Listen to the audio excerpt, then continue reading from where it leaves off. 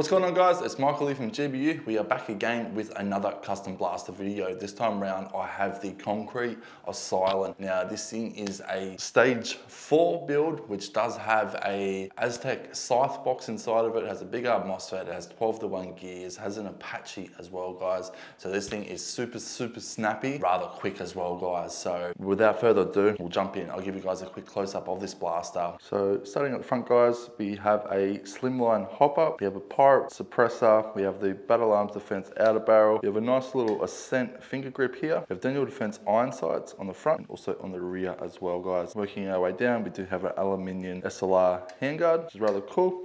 We have a Salient Arms receiver in a nice grey or like a stone grey, I would call it. Inside again, as I said, we do have our purple scythe box. We have a GBU T-piece inside here. We have a ported cylinder just to match the smaller barrel and the speed as well for this thing. Now we do have a ambidextrous Strike Industries mag release. So we got one side and then we got the other side here. We also have a GBU bolt catch. We also have a GBU fire select. We have the GBU curved speed trigger and we have a mini M16 buttstock. Now the pistol grip of choice on this one is the Amoeba pistol grip. Now again, as I was saying before, this does have 12 to 1 gears inside. It has your SHS piston, reverse latch, big arm MOSFET, all the absolute great stuff of this thing is inside of this here. So now I, I genuinely like this thing. I actually love the color. I'm a massive fan of gray colored builds. So I actually did a couple back in the day that were a really, really nice gray and they didn't last long on the shelf at all. Now these guys have gone over the top when it comes to this particular gray here. As you've just seen in the close-ups, this thing is looking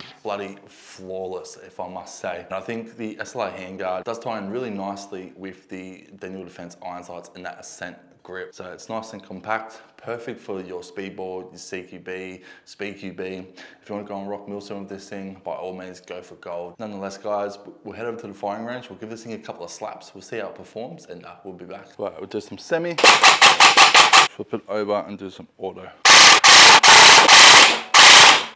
So as you can see guys, the Concrete Asylum is no joke at all. It is shooting very straight, it's shooting very snappy. It's got a very, very fast fire rate as well. So again, if this is something that you'd like, come on down and see it's the 7 slash 18 Bailey Crescent in Southport on the Gold Coast, or it is online right now as I speak. Peace out.